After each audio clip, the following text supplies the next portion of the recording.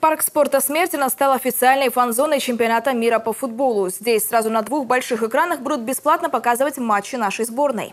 График трансляции вы видите на своих экранах. Отметим, за три часа до начала каждой игры на территории фан-зоны будут проходить концертные программы с участием творческих коллективов.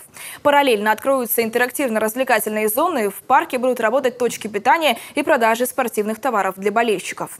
Фанатам, приехавшим на машинах, можно будет припарковаться на парковке, которая вместит более 200 автомобилей. Болельщикам без машины после матча предоставят общественный транспорт.